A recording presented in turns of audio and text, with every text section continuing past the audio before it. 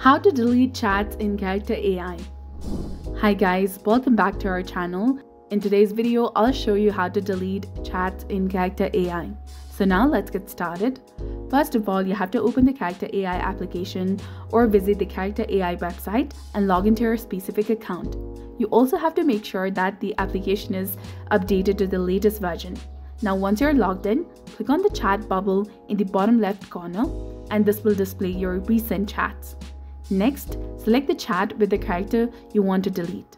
When the conversation opens, tap on their name or profile picture in the top and this will show you several options.